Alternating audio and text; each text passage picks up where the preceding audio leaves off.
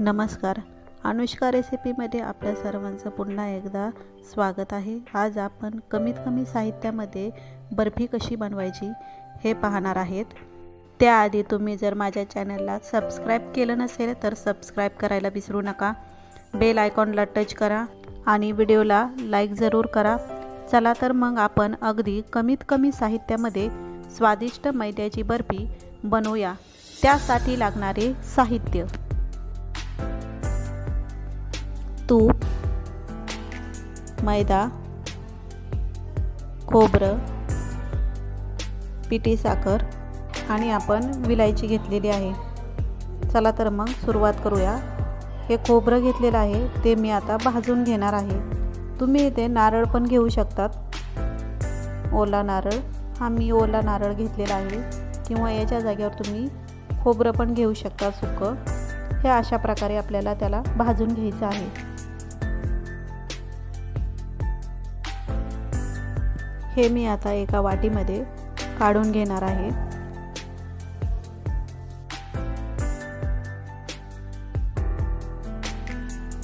कढई गरम होण्यासाठी ठेवलेली आहे.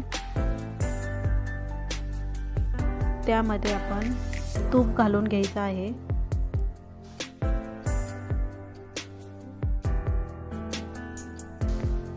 मी आता इथे पाच चमचे तूप घालून घेणार आहे.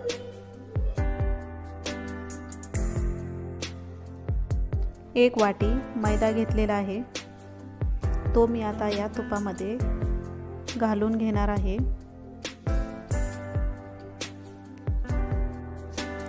याला आता सारखं हलवत राहायचं आहे.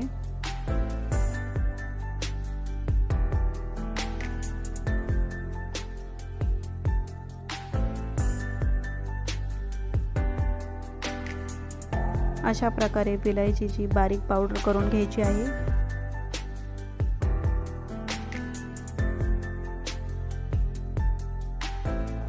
हे आता सारखं असं हलवत राहायचं आहे.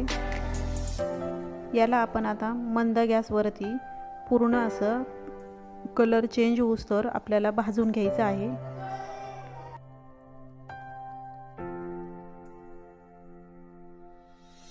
याला आता तेल सुटल्यासारखं झालं आहे आणि हे आपलं आता भाजून झालेलं आहे. त्यामध्ये आपण विलायचीची पावडर घातलेली आहे. याचा आता मस्त खमंग वास सुटलेला आहे.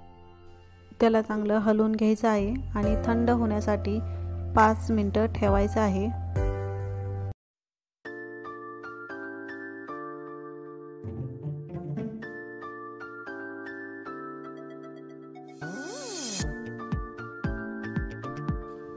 पाच मिनटं झालेले आहेत आणि आता यामध्ये मी पिठी साखर घालून घेणार आहे. हे आता आपल्याला पूर्ण थंड पण करून घ्यायचं नाही आहे अशा प्रकारे पिठी साखर घातल्यानंतर त्याला हलवत राहायचं आहे.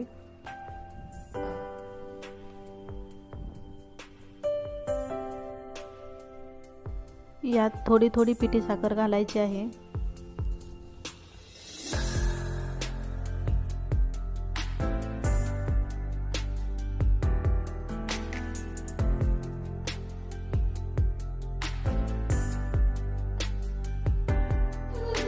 आता राहिलेली सगळी पिठी साखर मी घालून घेणार आहे. अशा प्रकारे आपल्याला त्याला हलवत राहायचं आहे.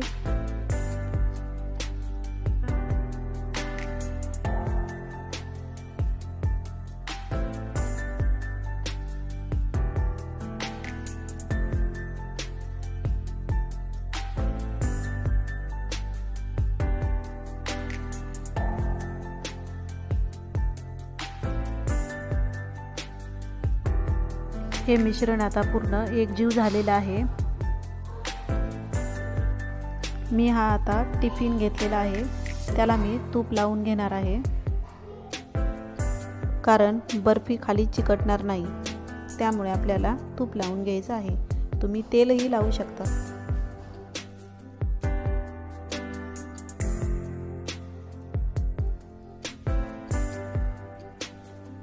आता हे मिश्रण आपण या डब्यामध्ये घालून घेणार आहे.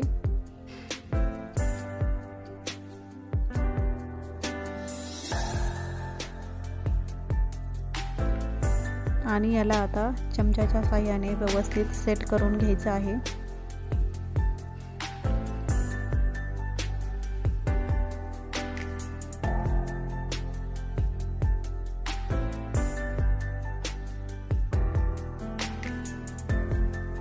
आणि डब्याला थोडंसं टॅप करून घ्यायचं आहे.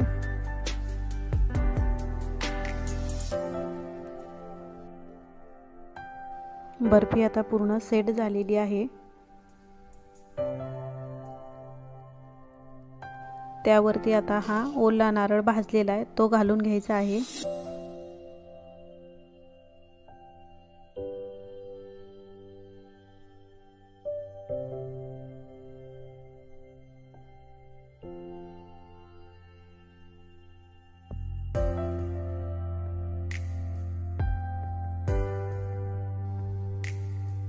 आता आपल्याला चमच्याने त्याला दाबून घ्यायचं आहे. म्हणजे पूर्ण बर्फीमध्ये आपलं खोबरं हे चिकटून बसेल. हे आता खोबरं पूर्ण लावून झालेलं आहे. आणि ह्याला आता दहा मिनटं सेट होण्यासाठी ठेवून द्यायचं आहे. फ्रीजरमध्ये ठेवलं तरी चालेल.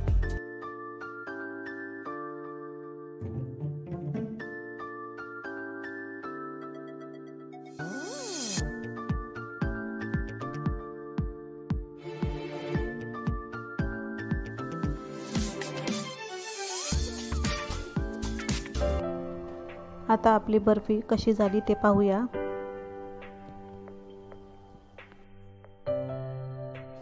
आणि आता चाकूच्या साह्याने आपण त्याला वड्या पाडून घेऊया. उभे आणि आडवे काप देऊ.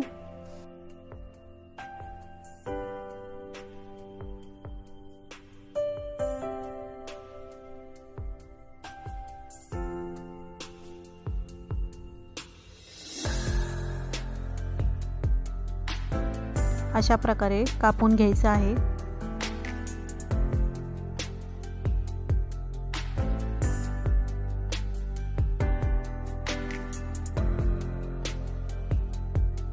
हे आता आपली मैद्याची बर्फी तयार झालेली आहे. तुम्हाला जर हा व्हिडिओ आवडला असेल तर लाईक करायला विसरू नका. चॅनलला सबस्क्राईब करा बेल आयकॉनला टच करा.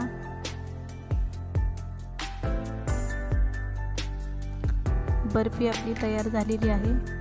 आणि ती कशी झाली आहे ते तुम्हाला मी फोडून दाखवते. हे बघा आता आपली बर्फी एकदम छान झालेली आहे.